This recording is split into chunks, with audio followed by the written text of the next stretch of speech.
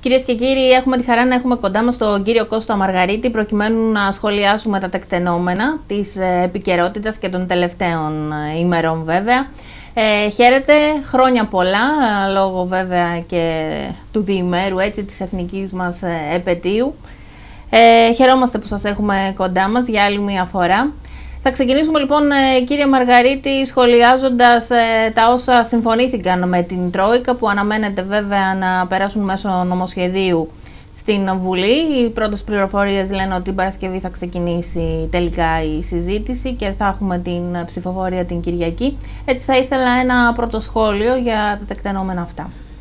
Την καλησπέρα μου καταρχήν από μένα, χρόνια πολλά σε όλους με την ευχή ότι αύριο θα κυματίζει μία γαλανόλευκη σημαία σε όλα τα μπαλκόνια. Και αυτό γιατί, όχι για λόγους λαϊκίστικους, αλλά για λόγους καθαρά εθνικούς, για λόγους υπερηφάνειας, επιτέλους να νιώσουμε ότι είμαστε Έλληνες και επιτέλους να φωνάξουμε ότι θέλουμε και εμείς και τα παιδιά μας και οι οικογένειές μας μία άλλη Ελλάδα. Μία Ελλάδα με περισσότερο φως, πιο χαρούμενη, πιο αισιόδοξη, και με καλύτερη ποιότητα ζωής, αξιόπιστη, έντιμη και να ζούμε σαν άνθρωποι. Διότι τώρα δεν ζούμε σαν άνθρωποι, τώρα ζούμε καταδυναστευμένοι, τώρα ζούμε ταλαιπωρημένοι, τώρα ζούμε εξαθλειωμένοι, τώρα τρώμε από τα σκουπίδια και τώρα ψάχνουμε να συντηρήσουμε και να βοηθήσουμε συνανθρώπους μας οι οποίοι πραγματικά πριν από μερικά, μερικούς μήνες ή έστω το πολύ πολύ ένα-δύο χρόνια ζούσαν αξιοπρεπώς.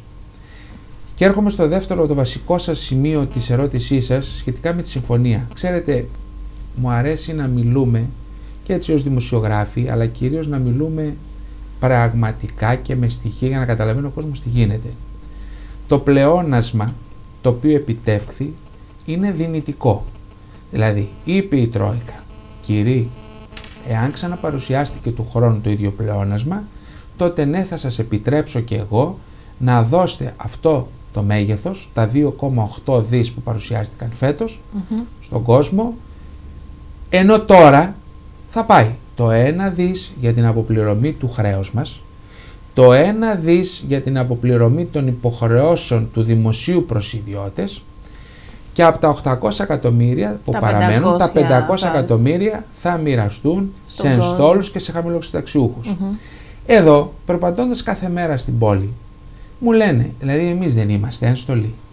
Εμείς που μπαίνουμε και σκάβουμε στους υπονόμους, εμείς που μπαίνουμε στο λιμάνι και σηκώνουμε στη αχθοφόρη και σηκώνουμε τα βάρη της ζωής μας, εμείς οι πολίτεκνοι που κάναμε παιδιά για να στηρίξουμε την Ελλάδα, εμείς δεν είμαστε ένστολοι, εμείς είμαστε πολίτες μιας άλλης κατηγορίας. Ποια είναι η στολή που πρέπει να φοράμε, ποια είναι η στολή της Ελλάδος ή είναι η στολή του ρουσφετιού που θέλουμε κατά το δοκού να τη χρησιμοποιούμε. Και εκεί αδυνατό πραγματικά κυρία Σάπκα, αγαπητή μου Βένη, να, να τους απαντήσω. Ε, τι να απαντήσετε. Θέτω όμως και έναν άλλο προβληματισμό. Το 1 δισεκατομμύριο το οποίο θα δοθεί για τις υποχρεώσεις του δημοσίου προς ιδιώτες είναι ποσό το οποίο εγγράφηκε ως πλεόνασμα ενώ το χρωστούσε το κράτος στους ιδιώτες που είχε συνεργασία μαζί του. Άρα τι πλεόνασμα είναι αυτό; Λογιστικό πλεόνασμα. Και παρά τα όσα λογιστικά τερτύπια γίνονται, το πρόβλημα είναι ότι το χρέος δεν είναι βιώσιμο, ότι αμέσως μετά τις ευρωεκλογές θα, τα θα ανοίξει ένα τέτοιο ζήτημα μεγάλο, το ζω και στο Ευρωπαϊκό Κοινοβούλιο που είμαι τώρα. Ξέρετε ότι η εμπειρία μου μέσα στο Ευρωπαϊκό Κοινοβούλιο εδώ και πέντε χρόνια λειτουργεί στο να μπορώ να γνωρίσω το πώς κινούνται όλοι αυτοί οι μηχανισμοί, το τι ακριβώς θα γίνει στο μέλλον και το πώς μπορούμε να απορροφήσουμε κοινοτικά κονδύλια που δεν έχουμε απορροφήσει και σε επίπεδο τοπικής και σε επίπεδο περιφερειακής αυτοδιοίκησης. Και εκεί είναι η μεγάλη μου αγωνία και εκεί είναι η μεγάλη μου, αν θέλετε, ένταση στο να βοηθήσω δημάρχους και περιφερειάρχες και ειδικά το Δήμο της πόλης μου, την περιφέρεια της Κεντρικής Μακεδονίας, να μπορέσουν να απορροφήσουν κονδύλια.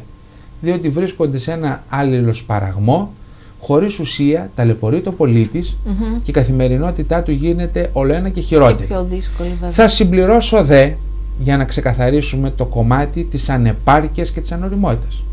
Ήρθε η Τρόικα και είπε εφαρμόστε κύριοι την έκθεση του ΟΣΑ. Ξέρετε γιατί το είπε αυτό η Τρόικα; Δεν το έχουν πει, το κρύβουν. Διότι εξαιτίας της ανεπάρκειας του Υπουργού Ανάπτυξης του κυρίου Χατζηδάκη πήγε και αγόρασε την έκθεση του ΟΣΑ πληρώνοντας 900.000 ενώ μπορούσε να μην την πάρει και, και έρχεται η Τρόικα και λέει αφού αγοράσατε την έκθεση του ΟΣΑ θα πρέπει να εφαρμόστε την.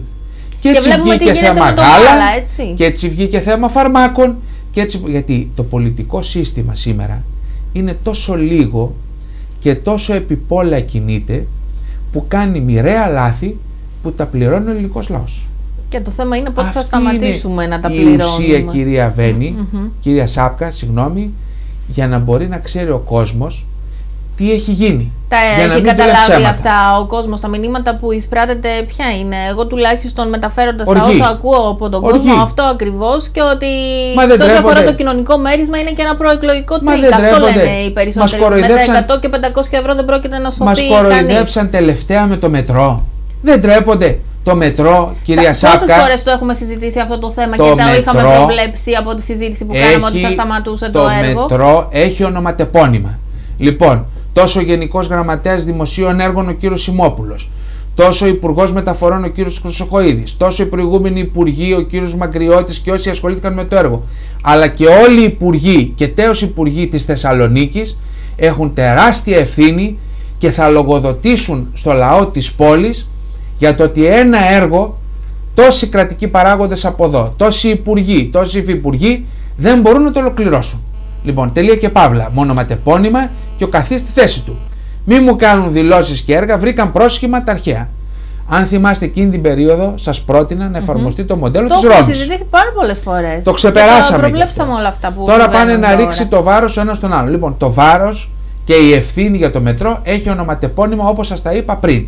Σε υψηλά κυβερνητικά κλιμάκια. Και ξέρετε ποιο είναι το άσχημο; Ότι όλοι αυτοί οι άνθρωποι εκθέσαν τον Πρωθυπουργό, εκθέσαν τη συγκυβέρνηση, θα πρέπει να απομακρυνθούν άμεσα από, τους, από τις θέσεις τις οποίες κατέχουν γιατί απέδειξαν ότι είναι λίγοι και ανεπαρκείς, φέραν τον Πρωθυπουργό να κάνει δηλώσεις εδώ και να πει ότι το μετρό προχωρά, χωρίς οι ίδιοι να έχουν, έχουν ίχνος να δουν αν το μετρό προχωρά, έχει πάει παρακάτω. βρίσκεται, κολλάει, πού, τι και πώς. Και βέβαια η αγορά έτσι, η οποία έχει πληρώσει. Καταστρέψαν τη μικρομεσαία επιχείρηση. Τι να πούμε, η Εγνατία Περπατήστε έχει στην ανάληψη. Περπατήστε στην Εγνατία. Περπατήστε τη Δελφό. Κλείσαν όλα τα μαγαζιά. Αυτή κρανίου είναι τόπος, η επιχειρηματικότητα. Γύρω από την εργοτάξια του μετρό, κρανίου τόπος. Και χωρίς να γίνει το μετρό. Και αυτή τη στιγμή ξέρετε τι γίνεται στην Αθήνα. Προχωρούν οι επεκτάσεις του μετρό αυτόματα. Και εμείς δεν έχουμε τελειώσει μια κύρια γραμμή αυτό το πράγμα όχι μόνο θα εκφραστεί στην κάλπη κυρία Σάπκα, όχι μόνο θα το δείτε από τον κόσμο, διότι κανείς τους δεν μπορεί να κυκλοφορήσει έξω στην αγορά. Ας πρατήσει. Και ας πούνε τι, μακέτες πάλι. Βρώμης ο θερμαϊκός. Το μετρό διαλυμένο. Λοιπόν, και εμείς και η πόλη ολόκληρη διαλυμένη. Και εμείς ως κίνημα ενεργών πολιτών. Ότι πάνε καλά. Και εμείς ως κίνημα ενεργών πολιτών κατά της διαφθοράς, τα καθαρά χέρια, κυρία Σάπκα, προχωρήσαμε σε δύο μεγάλες δράσεις όπως ξέρετε.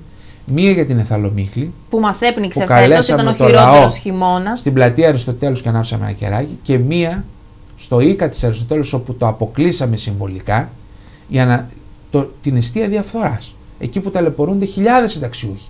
Εκεί και που δεν μπορεί ο κόσμος και τώρα να αυτό πάρει γίνει με τη το σύνταξή κομμάτι της υγείας.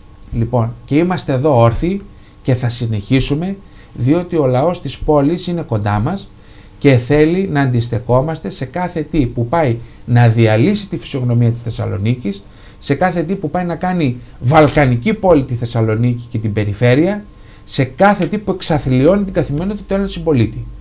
Όρθιοι και δυνατοί και καλούμε και το λαό της Θεσσαλονίκης να είναι κοντά μας, γιατί πραγματικά θα δώσουμε μεγάλες μάχες και οι μάχες δεν έχουν ως κίνητρο την καρέκλα. Εμείς δεν έχουμε κίνητρο την καρέκλα. Εμείς είμαστε του πεζοδρομίου εμείς είμαστε εκεί που είναι ο μόχθος, εκεί που είναι η καθημερινότητα, Αυτό εκεί που είναι τη βελτίωση τα καθαρά χέρια. Εκεί δίνουμε τον αγώνα. Αυτοδιοικητικές εκλογές λοιπόν ε, στο προσκήνιο, μια που θίγουμε θέματα της ε, Θεσσαλονίκης. Ε, Πώς το βλέπετε τα πράγματα μέχρι στιγμής να κινούνται, Δεν βλέπω κάτι. Όλοι ετοιμάζουν, κάνουν τις προετοιμασίες τους. Περιμένουμε να δούμε τι θα μας παρουσιάσουν. Τους προειδοποιώ και τους λέω όλους μην τολμήστε να παρουσιάσετε μακέτες στο λαό της Θεσσαλονίκης, θα σας τις φορέσουν καπέλο. Ρεαλιστικές προτάσεις, θα προτιμούσα δηλαδή από τον κάθε υποψήφιο να παρουσιάσει δύο προτάσεις. Δύο προτάσεις όχι μόνο άμεσα. προτάσεις και λύσεις στα υπάρχοντα Ναι, ναι, άμεσα θέματα, τα υλοποιήσιμες. χρόνια προβλήματα που μας Όχι ταλαιπωρούν. με την παλιά λογική, ας πούμε 10 πράγματα, ή στο τέλος της τετραετίας ή της πενταετίας που είναι τώρα να κάνουμε δύο, είμαστε πετυχημένοι. Όχι. Πείτε δύο, κάντε δύο και δείξτε ένα επιτέλους μια συνέπεια με το λαό της πόλης. Ξέρετε κυρία Σάπκα, πολλές φορές το ξεχνάμε. Σήμερα η Θεσσαλονίκη δεν έχει αεροδρόμιο, δεν έχει μετρό. Έχει ένα Πόσες θερμαϊκό, εξαγγελίες ακούσαμε και για το έχει ένα αεροδρόμιο όμως στο θερμαϊκό- πέρασμα του χρόνου. έχει ένα θερμαϊκό μολυσμένο και θέλει η πόλη αυτή να υποδεχθεί τουρίστες. Και ρωτώ εγώ, δημιουργήστε κύριοι νέες πηγές εσόδων. Ο τουρισμός φέτος θα σπάσει κάθε ρεκόρ και από τα έσοδα που θα δημιουργηθούν από αυτό το κομμάτι μπορείτε και στα μουσεία να περιηγηθούν οι τουρίστες άρα και να εισπράττουμε από εκεί και βόλτα με τα καραβάκια μας να κάνουν στο θερμαϊκό και να εισπράττουμε από εκεί και να απασχολείται προσωπικό και να βοηθήσουμε τη μικρομεσαία επιχείρηση στο κέντρο να λειτουργήσει και να παρουσιάσει έργο. Όλα αυτά δεν είναι μαγικά που λέμε. Είναι τόσο απλά και τόσο ρεαλιστικά. Απλά θέλουν μεράκι να ασχοληθείς.